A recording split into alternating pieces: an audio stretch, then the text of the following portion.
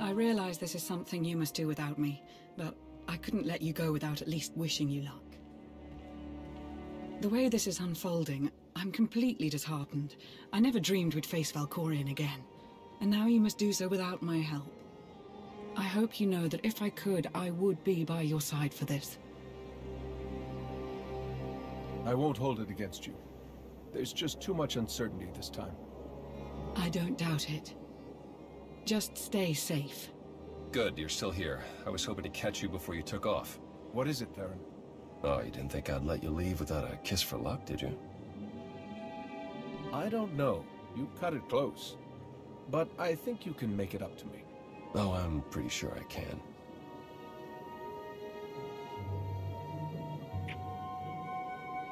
And there's something else. I hope there's room for one more on that shuttle, because I'm going with you. I appreciate the thought, but are you sure? I know it's risky, but Satele is in trouble. I have to help.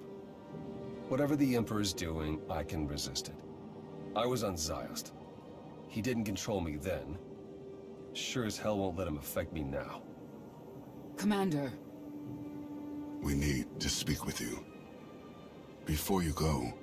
Is the entire Alliance planning to come along? I don't believe so. We're coming with you. We helped you defeat Valkorion before, and we won't abandon you now. Whatever this weapon is that he's unleashed, I'm sure it won't have any power over Arcann and I. This is just as much our responsibility as it is yours. If there's the slightest chance Valkorion could return, we must do what we can to stop him. Sorry to interrupt your send-off, but we need to get going. We will accompany you. I'm going too. That is really not a good idea. Kira is correct. Too many are already infected by Tenebrae's weapon. Bringing you is too great a risk. That's not your call to make.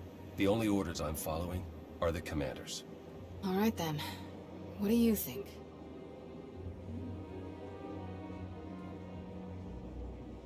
Kira and Scourge are right.